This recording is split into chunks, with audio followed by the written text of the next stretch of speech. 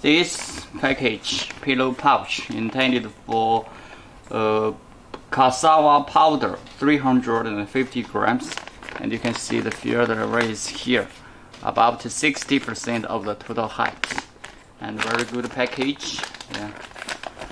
I'm going to show you the dimension for this package. Width 165 millimeter height